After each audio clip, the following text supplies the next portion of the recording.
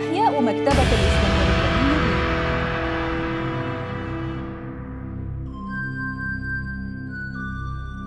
وظل الحلم في إعادة بناء مكتبة الإسكندرية القديمة وإحياء تراث هذا المركز العالمي للعلم والمعرفة يراود خيال المفكرين والعلماء في العالم أجمع.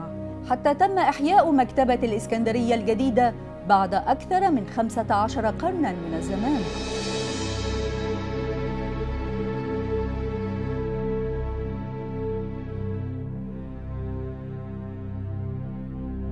قامت مصر بالاشتراك مع الأمم المتحدة ببناء المكتبة من جديد في موقع قريب من المكتبة القديمة بمنطقة الشطبي وتم افتتاح المكتبة الحديثة في السادس عشر من أكتوبر عام 2002 في احتفال كبير حضره ملوك ورؤساء وملكات ووفود دولية رفيعة لتكون منارة للثقافة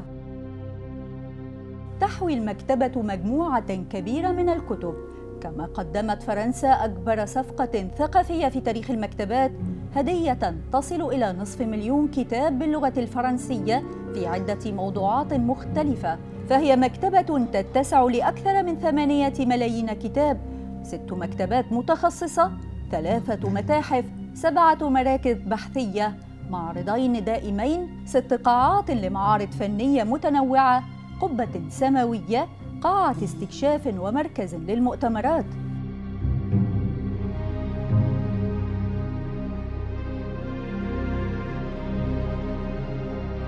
بنيت مكتبة الإسكندرية الجديدة لتسترجع روح المكتبة القديمة ولتكون مركزاً للمعرفة والتسامح والحوار والتفاهم ونافذة للعالم على مصر.